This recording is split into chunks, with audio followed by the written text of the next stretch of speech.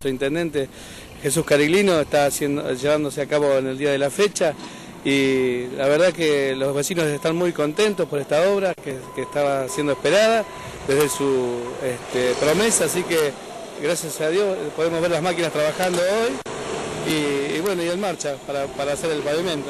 Bueno, esta es la calle Ecuador, pero hay varias calles de este barrio que está proyectado a faltarse, ¿verdad? Correcto, también tenemos en la calle Boile, entre esta misma este, Ecuador y, y que también están este, empezando el día de hoy a, realizar las obras. Así que estamos muy contentos por todos los asfaltos que se están haciendo en Granbur, tanto en la zona sur como en la zona, norte. También estamos este, recibiendo el asfalto de la calle Baigorria entre eh, Esteban Gómez y, y la calle Beuchef.